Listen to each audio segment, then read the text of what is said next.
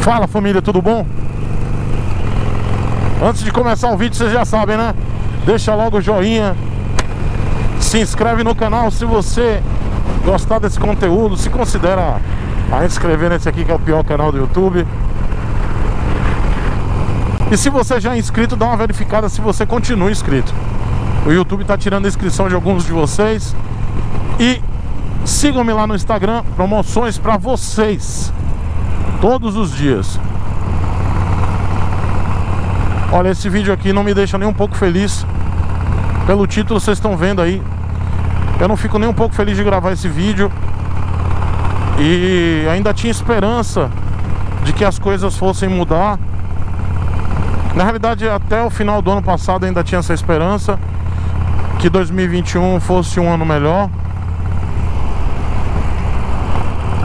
E que nós tivéssemos uma retomada da economia e quem sabe até algumas promoções e diminuição nos preços dos veículos, das motos principalmente, que é o que a gente fala aqui.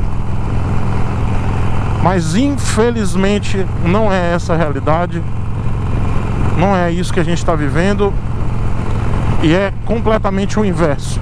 Então esse vídeo aqui eu quero dizer para vocês que esse, isso que a gente está vivendo, esse caos que a gente está vivendo, essa loucura, preços, é, to, tudo base... sempre foi baseado no dólar, né, gente? A gente sabe disso.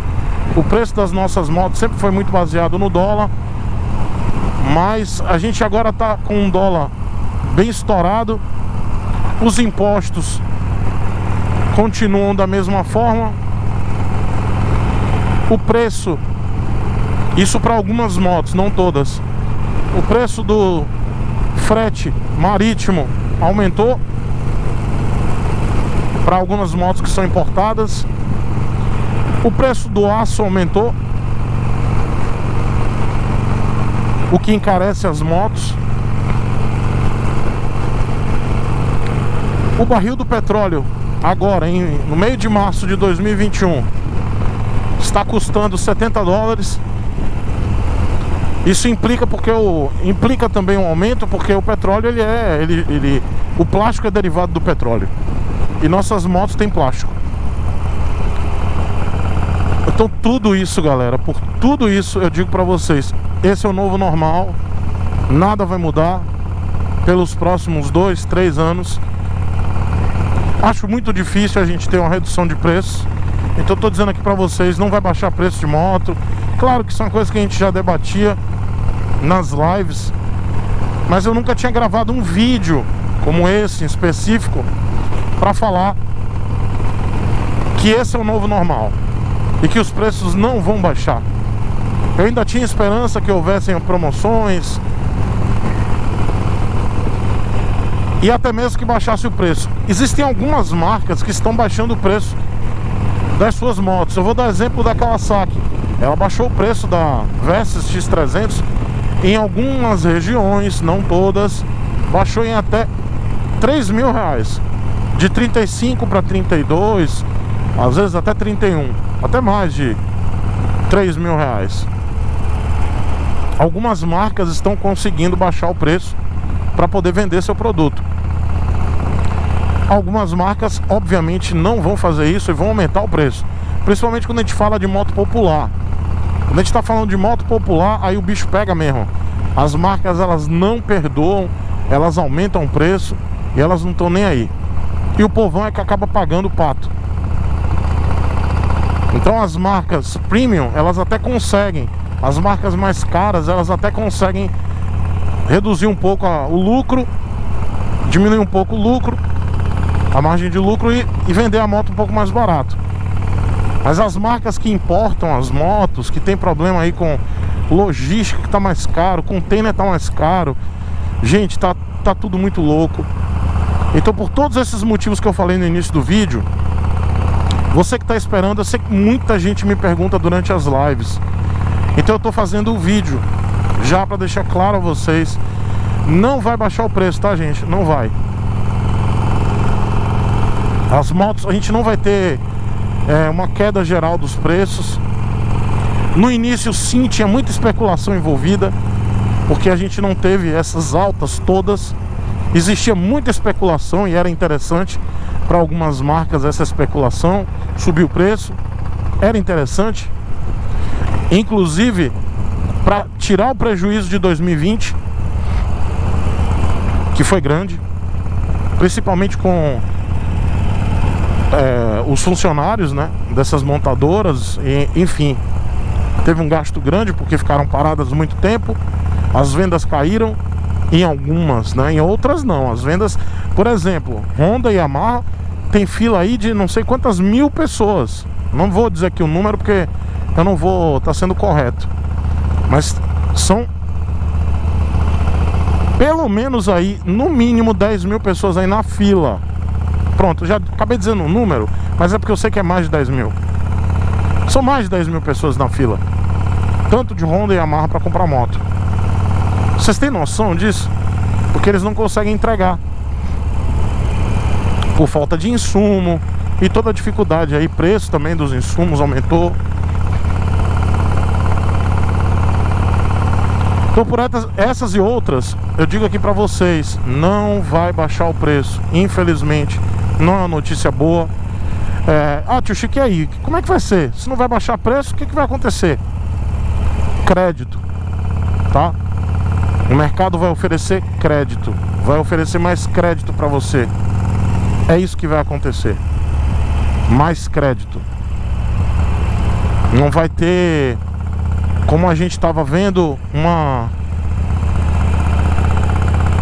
uma promoção caindo o preço aí para sei lá.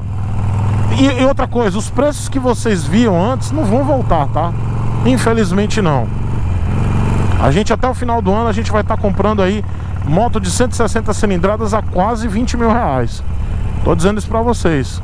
Tá quase lá, falta pouco. Eu não tô torcendo por isso não. Mas a situação é cada vez pior. E aí, tio Chico, corro para comprar minha moto agora? Sai em desespero para comprar minha moto? De forma alguma, meu velho. Não, não, não é assim. Você tem que fazer o consumo consciente. Você tem que praticar o consumo consciente. E lembrando, a situação está cada vez pior, a crise está cada vez pior. Então não adianta você sair agora correndo para comprar moto e na frente, se você precisar do dinheiro, você vai pagar a tua conta como? Como é que você vai se alimentar com a moto? Não vai. Então, o certo é você observar, aguardar por enquanto está escasso tanto moto zero quanto moto usada. Mais para frente acredito que melhora essa situação com a retomada aí das fábricas e a, a, a entrega de, das motos zero quilômetro. E aí você vai ter aí uma opção maior de usadas. E quem quiser comprar moto zero quilômetro também vai ter oportunidade de comprar moto zero quilômetro com a entrega mais é, com um prazo de entrega menor. Hoje em março de 2021, o prazo de entrega continua aí 120 dias. Então não adianta você comprar agora. Então o ideal é observar, guardar o dinheiro, aplica o dinheiro. Nada de fazer consórcio. Não faça consórcio, é furada. Administre o seu dinheiro. Se você precisar do dinheiro, você saca na hora que você quiser. Fazendo uma aplicação de curto prazo. Tá? Mas consórcio você não tem como. Numa emergência que você precisar do dinheiro, o dinheiro está preso no consórcio. Você não vai poder pegar esse dinheiro.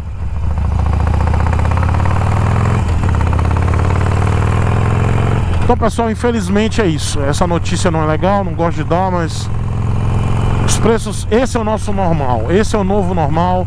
Preços altos, tá tudo muito caro. O dólar tá alto, não tem previsão de baixar. Esse ano é um ano perdido e eu não tô sendo derrotista não, tá, gente? Mas eu peço que vocês que têm dinheiro para guardar para comprar moto, observem, não sejam afoitos, não sejam afobados, não sejam ansiosos. Guardem o dinheiro, apliquem, esperem o momento correto. Ah, tio Chico, mas se eu não comprar agora, vai aumentar o preço. Cara, pode ser que agora, se você comprar agora, primeiro que muitas marcas não tem para pronta entrega, outras têm. Se você achar uma boa oportunidade para comprar uma moto, compre. Tá? É o consumo consciente. As três perguntas básicas. Eu preciso comprar moto, eu tenho dinheiro para pagar moto, eu preciso dessa moto agora. Então é muito simples. Se der não para qualquer uma dessas, não compre. Basta ter um não, não compre. Pratique o consumo consciente que você vai ver, você vai ter a resposta, você mesmo vai responder. Tá certo, pessoal? Um beijo grande para vocês. Vídeo chato de fazer.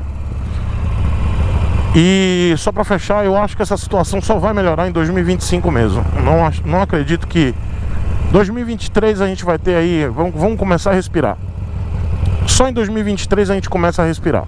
Mas antes disso, uh -uh. 2022, 2021 é um ano perdido, 2022 a gente vai tentar retomar, não vamos conseguir por completo, até porque até o ano que vem ainda estaremos sendo vacinados e o mercado exige a vacinação de todos para poder ter a retomada.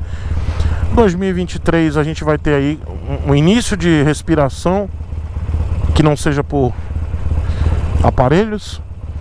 E aí teremos 2024 e 2025 para ter um trabalho aí para a gente tentar retomar, tentar não, para a gente retomar a nossa economia. Então, segurem as pontas. Se você tem moto, fique com sua moto. Se você tem dinheiro, guarde e aplique o seu dinheiro. Se você enxergar uma boa oportunidade de comprar moto, compre com consciência, tá bom? Beijo para vocês.